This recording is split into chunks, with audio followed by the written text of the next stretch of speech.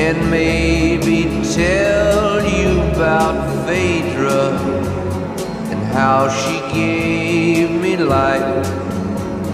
and how she made